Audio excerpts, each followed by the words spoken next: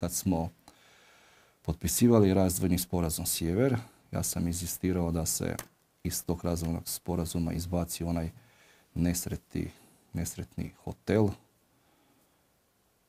u Varaždinskim toplicama za kojeg nije postojalo ništa osim sličica još iz Štromarovog mandata. Znači ništa za njega nije bilo niti idejnog rješenja, ništa, baš ništa. A da se ubaci kampus Foji. Znači kampus Foji je sad uvršten u razvojni sporazum Sjever. Prije nekih mjesec dana sam razgovarao sa rektorom Zagrebačkog sveučilišta Lakušićem oko te investicije.